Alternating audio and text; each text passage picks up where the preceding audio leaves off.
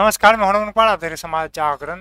राजनीति में कुछ भी हो सकता है, क्या तेलंगाना में भाजपा, बीआरएस के बीच में गठबंधन या विलय की संभावना है?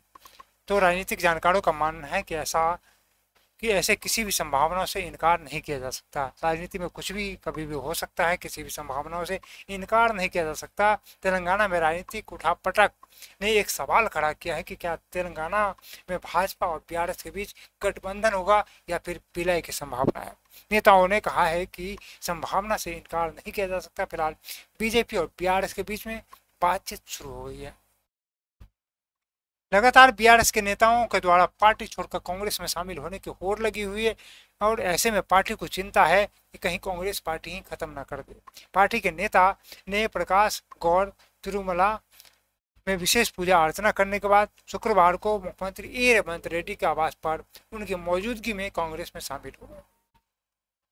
रेवंत और प्रकाश गौड़ टीडीपी में रहने के दौरान ही एक पुराने दोस्त है, सत्तारूढ़ कांग्रेस में शामिल होने से पहले प्रकाश गौड़ ने दो मौकों पर मुख्यमंत्री से मुलाकात की। थी मुख्यमंत्री ने से दूसरे मुलाकात के बाद उन्होंने बीआरएस में अपने समर्थकों के साथ बैठक की और उनसे कहा कि वो अपनी वफादारी नहीं बदलेंगे, लेकिन उसके बावजूद भी अपने वादे से मुकर गए और उन्होंने कांग्रेस में शामिल होने का फैसला किया। जैसे कि सात अन्य विधायकों ने किया, उन्हीं के नक्शे कदम पर चलते हुए यह फैसला लिया गया।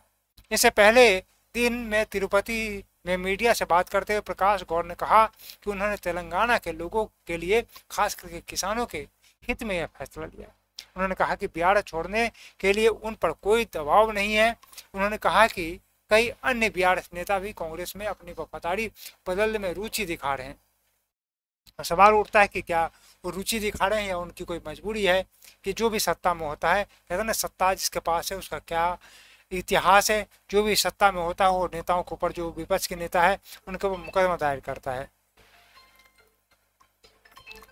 यह भी कारण हो सकता है कि राज्य में भाजपा की ताकत बढ़ने और बीआरएस के घटने के कारण भी दल बदल की स्थिति में बढ़ोतरी हो सकते हैं, जिनके कारण दोनों दलों को अपने बीच कोई साझा आधार तलाशने पर मजबूर होना पड़ा।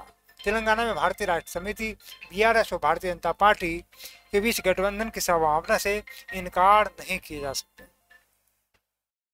एक समाचार रिपोर्ट के अनुसार दोनों दलों के नेताओं के बीच बातचीत शुरू हो गई है, जैसा कि इंडियन एक्सप्रेस ने बताया।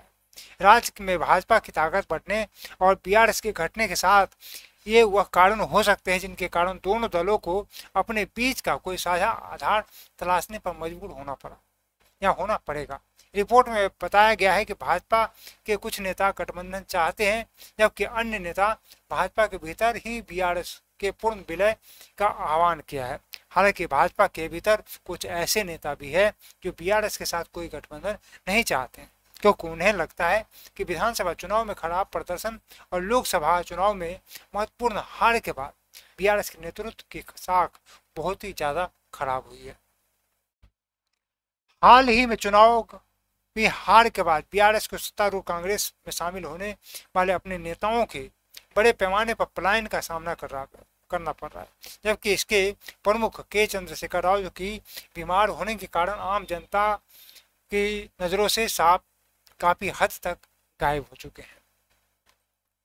एक रिपोर्ट के अनुसार बीआरएस इस बात को लेकर के भी चिंतित है कि राज्य की कांग्रेस सरकार उनके नेताओं के खिलाफ मामले भी दर्ज कर सकती है, जैसा कि अक्सर देखा जाता है कि जो भी सत्ता में आता है विपक्ष के खिलाफ मामला दायर करती है और कांग्रेस भी ऐसा कर सकती है। और इससे भी बदतर यह है कि संकटग्रस्त पार्टी केंद्रीय जाँच एजेंसी के दबाव में भी है। केसीआर की बेटी और विधायक के कप्तान दिल्ली में चल रहे शराब घोटाला, घोटाले में जेल में बंद है।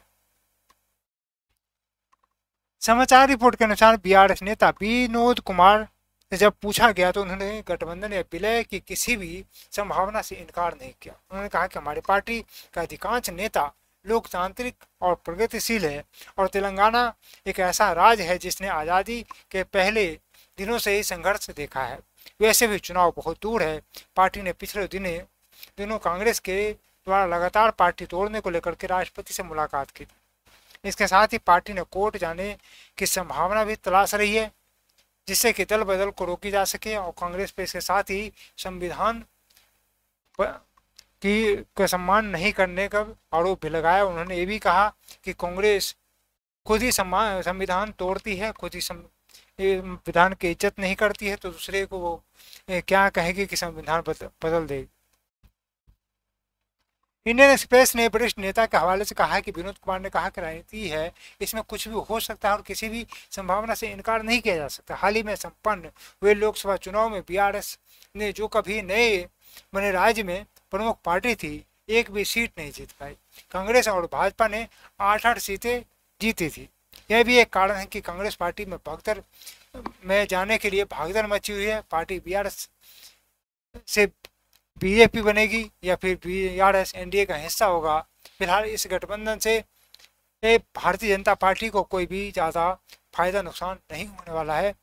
हालाँकि यह अब भारतीय जनता पार्टी को बड़ी उचित तरीके से सोचना होगा, फैसला लेना पड़ेगा कि आखिर उसके पक्ष में क्या है। क्योंकि फ़िलहाल तो लोकसभा में उसे मोदी सरकार के लिए कोई भी मजबूती प्रदान करने की कोई भी उम्मीद नहीं है, क्योंकि बी के पास कोई भी सांसद नहीं है।